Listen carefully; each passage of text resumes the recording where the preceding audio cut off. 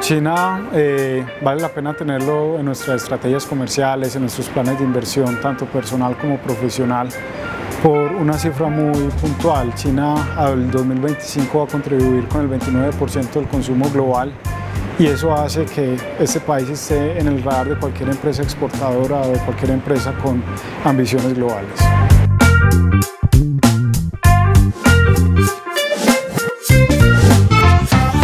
Oportunidades para Colombia son gigantes, hay N cantidad de proyectos que se pudieran desarrollar en diferentes industrias.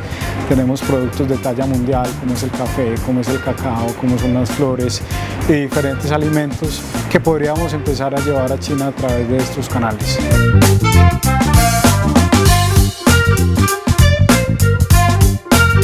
Lo más importante con China es identificar un, buen, un buen aliado, un, buen cliente eh, a los cuales, con los cuales puedas comenzar a construir una buena relación empresa-empresa y posterior a, esa relación que se va construyendo empezar a generar ideas, entre esas la comercialización en Internet.